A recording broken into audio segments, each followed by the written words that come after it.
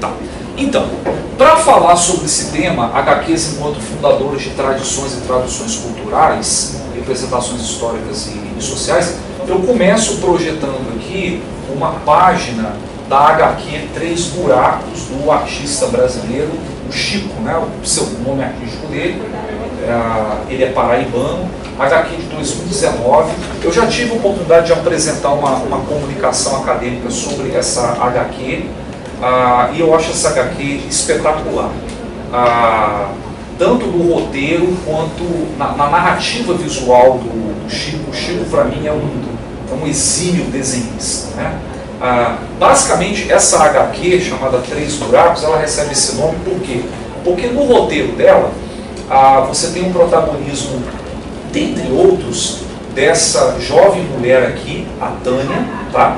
Ah, e ela vive numa cidadezinha ficcionalizada no interior do Brasil, no sertão brasileiro, ah, onde a cidade vive da exploração, muitas das vezes ilegal, do garimpo de pedras preciosas, no caso aqui de extração de turmalinas. Né? E a, a HQ se chama Três Buracos em alusão ao buraco das escavações, né, para ir atrás da extração dessas pedras preciosas é, o outro buraco é o puteiro da cidade e o terceiro buraco é o cemitério. Né? Daí o nome três é, buracos. A capa dessa HQ, ela é uma arte incrível. Ela tá, não, ah, tá. Eu substituí, tá mais aqui em cima. Aqui, ó. Essa é a capa. Chico apresenta três buracos. Eu acho impressionante essa capa, né? Ah, você tem aqui uma camada narrativa onde o buraco na terra, né, da escavação das pedras preciosas, ela vira aqui, ela é representada visualmente como uma metáfora de um próprio corpo, né, porque faz a menção a, a costelas aqui, né? Não sei se está dando para vocês verem. Né? E aqui a Tânia é, adentrando não somente no buraco literal né, da escavação, mas ela está, ou seja, a HQ ela nos diz visualmente um elemento narrativo muito importante ao longo da história.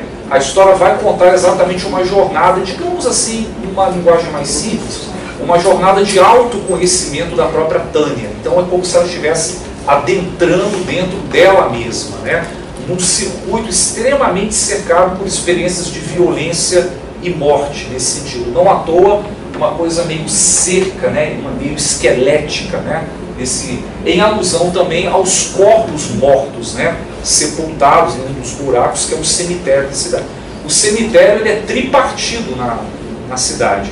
Tem a parte do cemitério que era eram sepultados as pessoas que morriam, por exemplo, de causas naturais, de velhice, que segundo a narrativa vai dizer, esse era a parte do cemitério menos utilizado quase ninguém era ali enterrado. O que implica numa releitura social interessante. Né? A maioria das pessoas não chegavam numa idade avançada para morrer de velhice. Elas morriam bem antes, morriam, por exemplo, de doenças, de acidentes de trabalho nas minas, né? e morriam principalmente, e essa é a parte do cemitério que era mais povoada, digamos assim, as pessoas assassinadas, mortas, vítimas de alguma violência, principalmente os trabalhadores, é, rebelando-se contra situações de insolvência social, sem nenhuma proteção trabalhista, e também morriam porque eles ah, furtavam as pedras preciosas dos seus donos, digamos assim, eles eram assassinados, até como forma, muitas vezes enforcados, como forma de servirem de exemplo para aqueles que tentavam roubar os seus patrões nas, nas minas. Né? Então, a, essas camadas narrativas da, da literalidade do buraco para os buracos que existem nas nossas existências, construídas no plano individual e construídas também no plano social e político. Por isso que eu estou pegando isso como um gancho né, para a gente discutir esse ponto aí ah, das, da, de que histórias em quadrinhos são linguagens, no sentido trabalhado por ontem, de de produções de significação sobre a, a maneira como representamos as nossas relações sociais, políticas e culturais. Gustavo, se, se me permite só uma pergunta.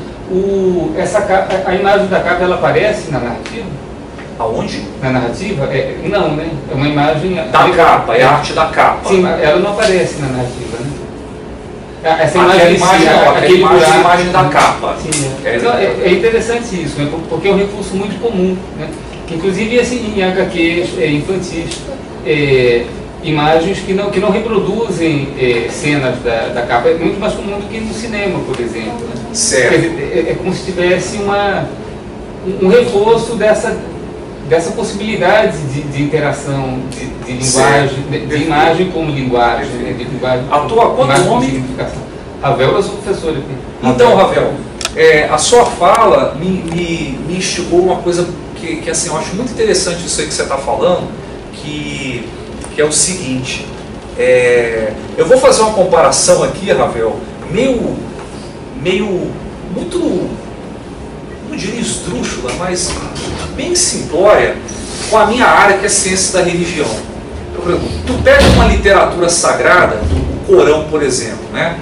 O primeiro capítulo do Corão, é, que no árabe é, são as suras, né? Os capítulos, né? Ela é chamada sura de abertura no, no termo árabe. É, e por que que se chama sura de abertura no árabe?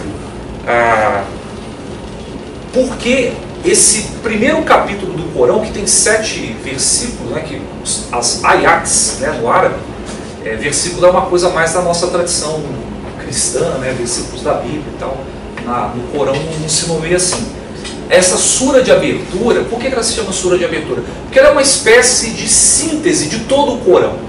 É como se ali estivesse a, a, a, os princípios necessários, as chaves de entendimento de toda a literatura corânica.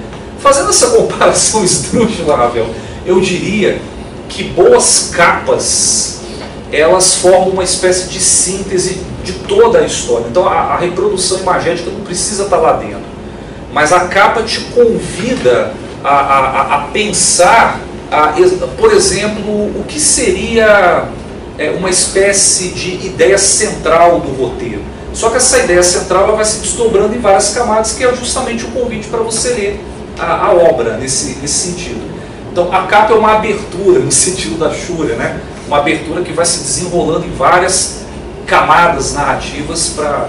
Então a, a, boas capas traduzem muito bem isso. Ao mesmo tempo que elas sintetizam, tá gente, a ideia central da HQ, elas não entregam o jogo como poderia ser supostamente num trailer de cinema ou num cartaz de um filme. Principalmente os cartazes dos filmes de blockbuster, né? De, de cultura de massa e por aí vai.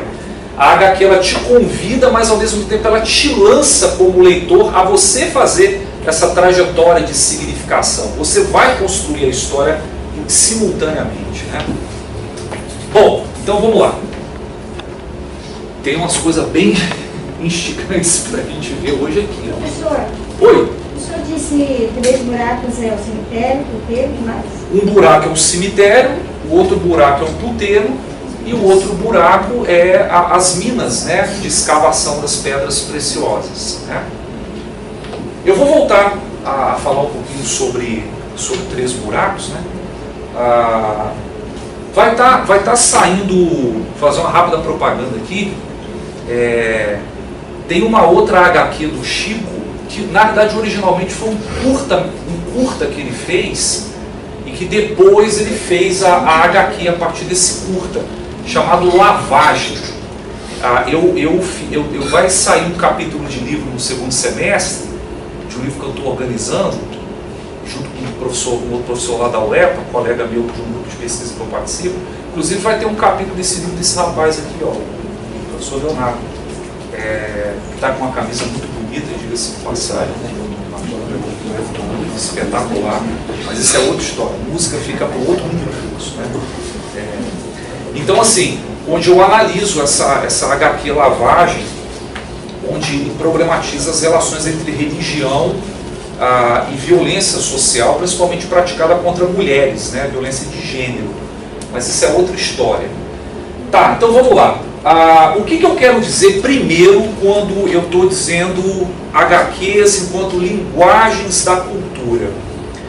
não somente o fato de que as HQs elas emergem, ou seja, elas são fruto de, de processos culturais específicos, mas ao mesmo tempo elas promovem criações culturais nesse sentido também. Em que aspecto, para vocês entenderem melhor?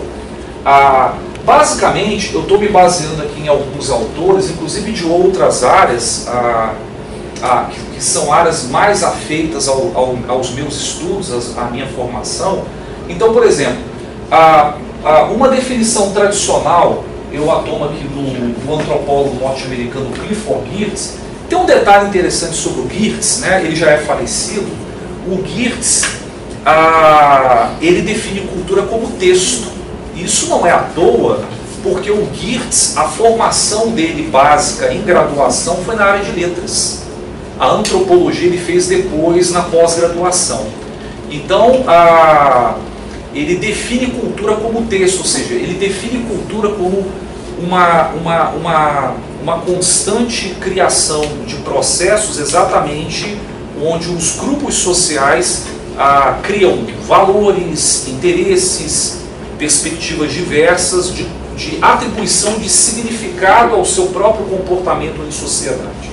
Então, cultura tem a ver com produção de sentido, o que se aproxima muito da ideia de produção sígnica. Não à toa ele vem do, da área de letras nesse, nesse, nesse, nesse sentido.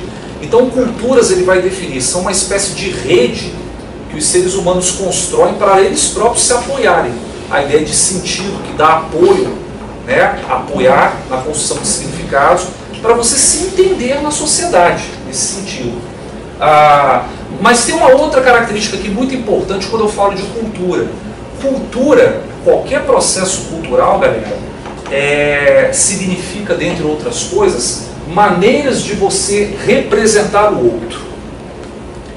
Seja no estabelecimento de afinidades, ou seja no estabelecimento de diferenças.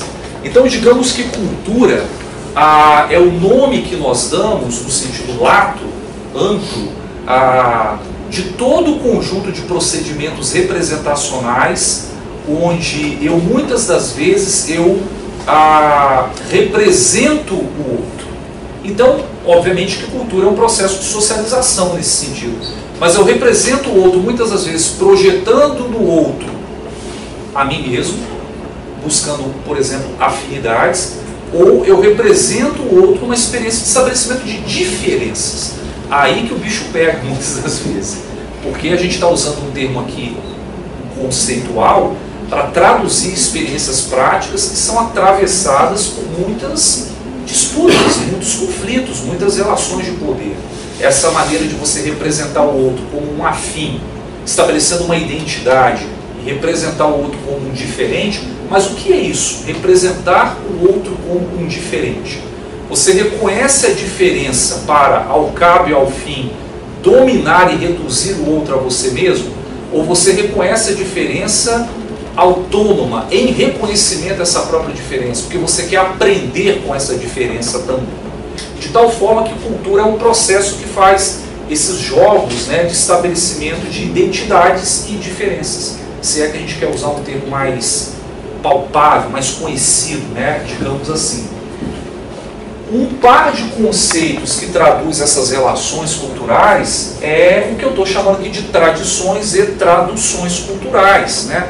Aqui eu estou me amparando nos estudos do, do Stuart Hall, né, que foi um dos caras que inaugurou toda uma área transdisciplinar né, no campo das ciências sociais, no campo de, de letras, linguística, no campo da filosofia também, do termo genérico de estudos culturais, né? principalmente a partir dos anos 60 e 70 da década passada. O Stuart Hall foi um intelectual, já falecido, é, um intelectual negro, jamaicano, mas que constrói todo o seu percurso na Grã-Bretanha, tá? na, na, na Inglaterra.